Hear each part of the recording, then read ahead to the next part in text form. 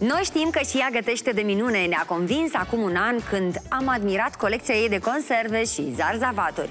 Dar pe lângă gătit, evident, Roxana mai are câteva pasiuni, iar cea mai mare dintre ele este muzica. Și astăzi o va împărtăși alături de interpretul Aurel Chirtoacă, cu care au un duet frumos. Îi salutăm în această după-amiază alături de noi. Ne bucurăm, ne bucurăm că ați venit, ne bucurăm că faceți Salutare! muzică. Salutare! Luați loc pe canapea. Sănătoși, Da, mulțumim. pentru că asta este prima întrebare atunci când te vezi cu, cu cineva în Scuze, perioada nu știu dacă asta. pot să spun sănătoși și vaccinați? Eu. cel Sănătos puțin. și, și vaccinați, Aurel? Sănătoși. Sănătoși. Eu jumătate vaccinată, jumătate mai, uh, mai aștept. Ai, ai făcut și, Și al rapel? doilea, Și da. al doilea. Da. Felicitări, deja Mersi poți să mult. mergi la evenimente. Deja merg. Deja mergi. Deja sunt o norocoasă și o bucuroasă pentru că am scăpat de aceste gânduri negre care mă trăgeau în jos așa. Eu mă bucur foarte mult pentru că artiștii din țara noastră servesc un exemplu pentru, pentru ceilalți, pentru societate, pentru că tot mai multă lume din domeniul public uh, își anunță decizia de a se vaccina și o fac asta tot spre binele uh, sărbătoririi evenimentelor. Toată lumea vrem nunți, cu mătrii, vrem să ne reîntâlnim. Așteptați de Doamne, Doamne, așa?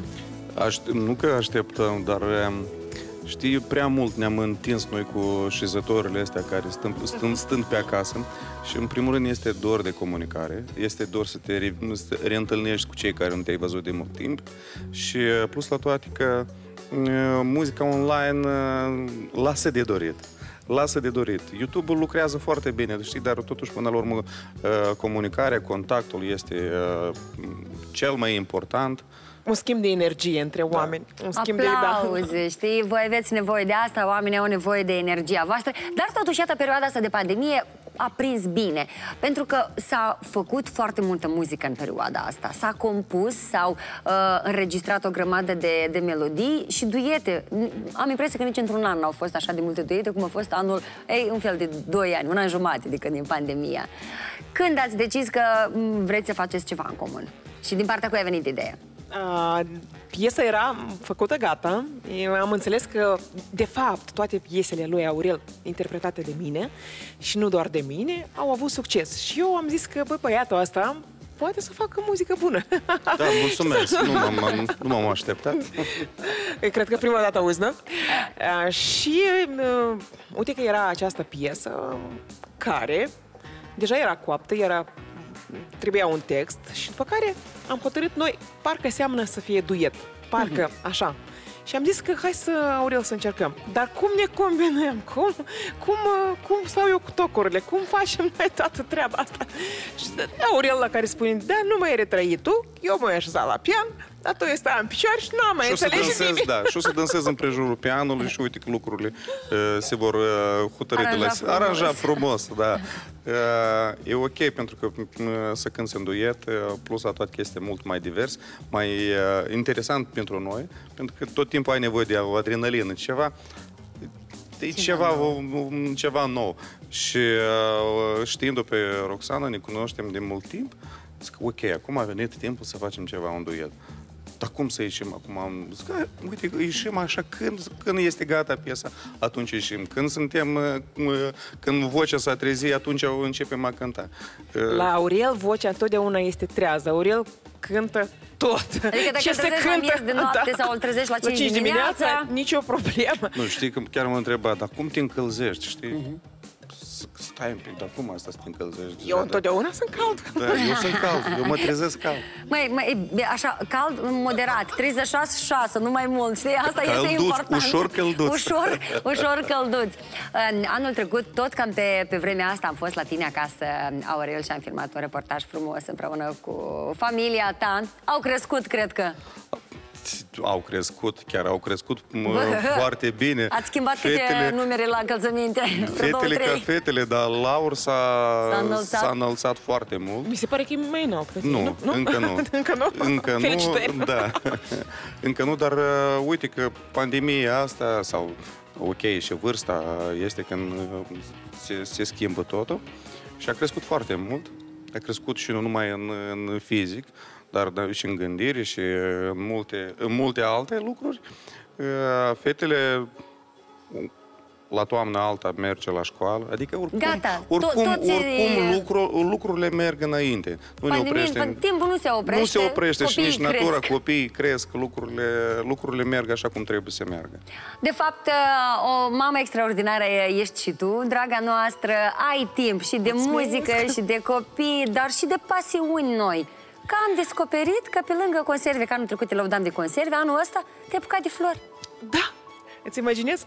Uh, atunci când era, efectiv, când nu puteai ieși din casă, când era mm, peri- perioada aceea mm-hmm. foarte, foarte grea, eu ieșeam în pădure, undeva după oraș și strângeam flori. După care am înțeles că ele se usucă și prind o, așa, un farmec formă. aparte, da? O formă.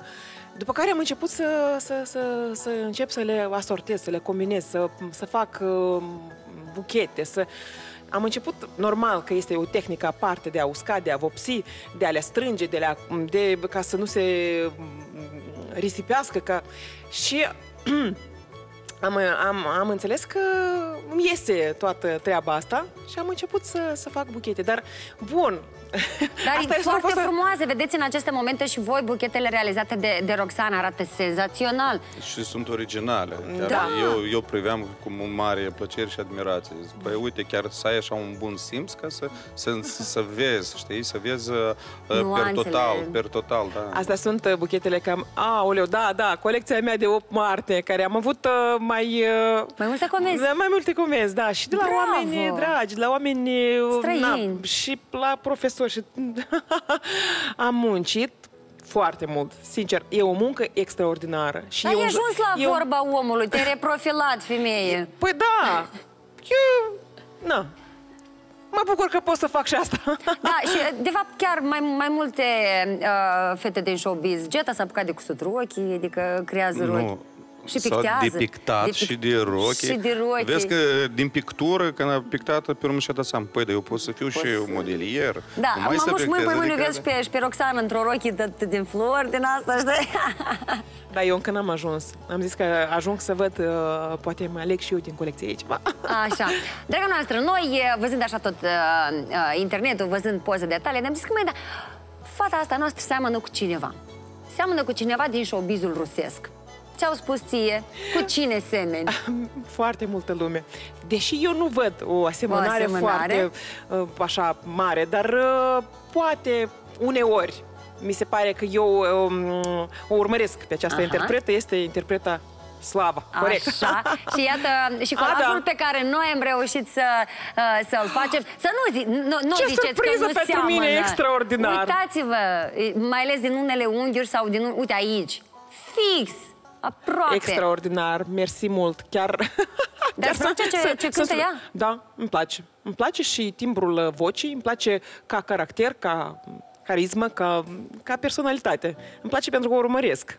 Așa. Dacă nu o urmăriți pe, pe Roxana, abonați-vă și la Roxana pe, pe Facebook și pe Instagram. Melodia pe care urmează să ne o cântați este despre dragoste. Puterea dragostei. Noi cu Aurel am hotărât că această melodie trebuie să fie despre dragoste, despre puterea dragostei, pentru că totul în această viață și în această lume se merită de făcut cu multă dragoste, cu multă pasiune și dacă nu este dragoste. Chiar faci un borș, o zeamă acasă și dacă nu depui un pic de suflet și un pic de dragoste, nu iese gustos. Așa este, este și în viață. De fapt, nu cântăm doar despre dragostea Da, exact unei despre asta vreau să zic și femei eu, nu-i de către un bărbat. dragoste, mm, Da, dar e- este despre dragoste de oameni, de viață, de frumos, de poftă de viață, de, de tot ce, ce înseamnă în genere viață. Asta, viața noastră trebuie să fie înconjurată de dragoste. Așa este, Aurel? Ce, ce zice... Eu, mă, eu, eu nici nu vreau să comentez, eu nu mai vreau să spun că cred că ce este mai frumos ca însăși dragostea, de la naștere și până la, până la că toate lucrurile cred că trebuie să le facem și acum am înțeles mult mai bine că uh, fără pasiunea, fără dragoste, fără um, practic nu există, pentru că nimeni nu se poate dedica unui lucru, uh, unei persoane fără dragoste. Și Noi asta am cântăm, venit da. și asta am venit să facem și ție o declarație, știi? Mm. Dar ce Da. zice femeia ta? Că tu în ultima perioadă, mai cu cine numai nu ai duete? Cu tine nu am. Cu mine nu am, dar nici nu trebuie că nu pot cânta. Măi, sincer, am observat că acum toată lumea se lansează în muzică. Știe omul a cânta, nu prea știe a cânta. Eu știu să vorbesc, lăsați-mă să fac asta. Lăsați-mă în pace. nu, ide- da, cred că și acolo ușor mai faci tu acolo niște tunes sau Da, nu știu da, cum da, acolo. da. Aș fi o cântăreață extraordinară. Dar cred că fiecare trebuie să-și aibă locul său. uh, Lu, cei de acasă fac diferența. Cei care cântă și cei care cântă mai puțin. Nu chiar toți fac diferența. Da, e important că, că soția mea este ok și ea nu are probleme cu uh, Gelozia. cine cânt, cu cine cânt. Este important să cânt frumos, știi? Și Și rog să- frumos vezi ce cânti și în altă. Nu mă fă de rușine. Nu mă fă de rușine, Aurel, da. te duci în lume, prezintă-te un, un bărbat frumos și, și talentat. Așteptăm melodia. Suntem curioși Puterea să o, dragostei. o ascultăm. Vă invităm Puterea Dragostei, uh, un duet uh, între Aurel Chirtoacă și Roxana pentru voi în această după-amiază, pentru că avem nevoie de dragoste, nu doar de dragoste uh, din partea unui bărbat sau a unei uh, femei, din partea părinților, din partea copiilor, din partea oamenilor noștri dragi sau străinilor. Să ne tratăm cu mai multă um, relaxare sau deschidere emoțională. În aceste momente vă dorim audiție plăcută.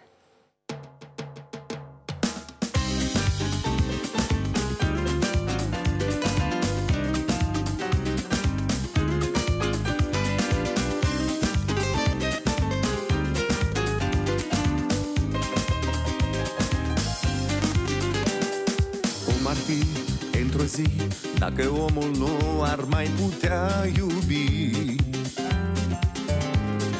Primăveri n-ar mai fi Dacă dragostea nu ne-ar mai încălzi.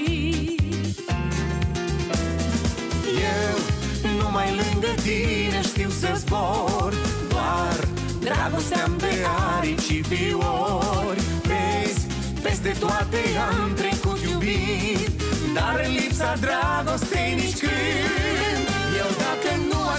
vedea tot după tine m-aș lua. Iubirea mea, te văd cu inima. Eu dacă n-aș mai auzi tot după tine aș veni. Așa e ea, puterea de a iubi. Eu dacă nu aș mai vedea tot după tine m-aș lua. Iubirea mea, te văd cu inima. Eu dacă n-aș mai auzi tot după tine aș veni. Așa e ea,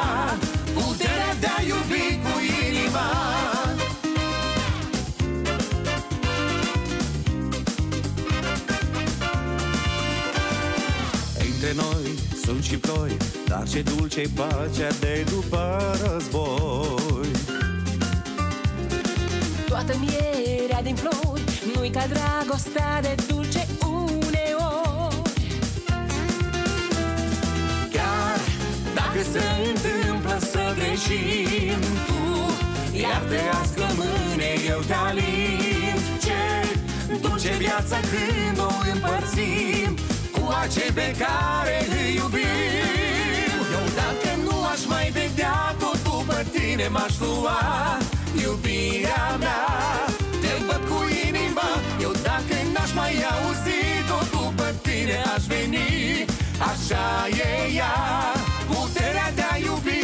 Eu dacă nu aș mai vedea tot după tine m-aș lua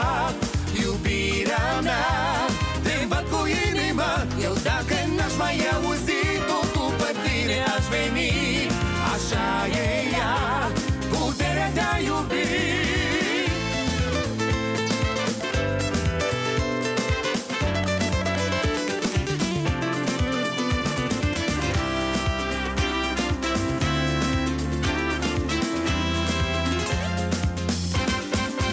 Eu dacă nu aș mai vedea tot după tine m-aș lua Iubirea mea.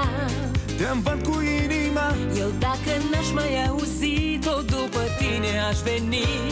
Așa e ea Puterea de a iubi. Eu dacă nu aș mai vedea Tot după tine m-aș lua. Iubirea mea Te-mi văd cu inima. Eu dacă n-aș mai auzi Tot după tine aș veni. Așa e ea